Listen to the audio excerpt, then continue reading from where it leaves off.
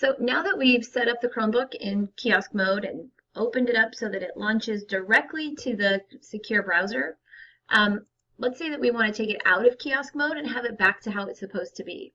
Um, we're going to make sure that we go back to the original starting place of our admin console. Again, click Device Management, Chrome Management,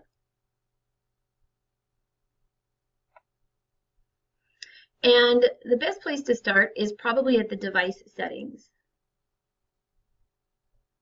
Again, I need to make sure that I'm working in the correct organizational unit, and that is Trainer Chromebook. I'm going to scroll down to um, kiosk mode. And I want to remove this option to allow public uh, sessions. So I'm taking that off. I'm going to remove the auto launch kiosk app. Um, and so that's no longer going to auto launch. Um, I could go ahead and remove this if I wanted to. I don't have to. Um, but simply to make things clean for me for the next time I come back, I'm going to remove that. And I'm going to click on Save. And at this point, the Chromebook should be back to its, um, you know, its mode that we're familiar with. The kids would have to sign into their Chromebooks like usual.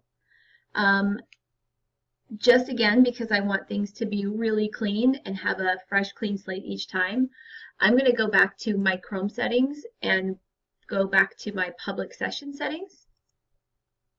And I'm going to also remove um, the secure browser app from this point as well. Um, and so again, I'm going to go to manage force installed apps and I'm going to remove that here, click save and save again.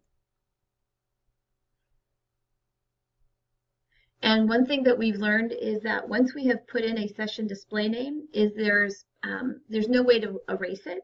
Um, it won't always appear. It doesn't, I mean, it's a little bit weird, but just for purposes of showing myself when I come back to watch this, if I were to remove the name and hit save, um, it doesn't let me. And so I have to always give it some kind of um, session display name. It won't always appear. It's only going to be there when they're when it's set up for a public session. Um, so that's it. That's how you take it out of kiosk mode, put it back to normal for users to sign in.